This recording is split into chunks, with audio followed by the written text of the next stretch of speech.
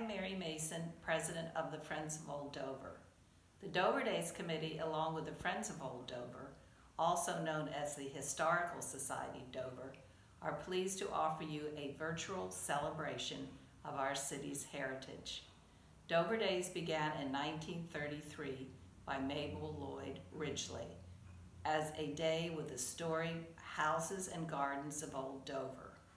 Through the years, the Dover Days has grown into a lively festival with parades, maypole dancing, historic reenactions, community speakers, and food and craft vendors organized by the Dover Days Committee.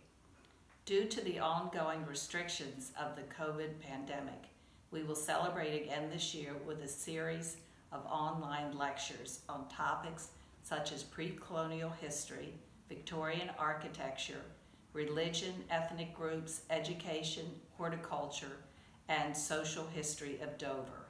We are proud of our traditions and our focus is on preserving Dover's historic and architectural heritage for future generations.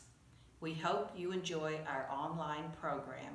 The Dover Days Committee and the Friends of Old Dover look forward to spending Dover Days with you in person the way it used to be next year.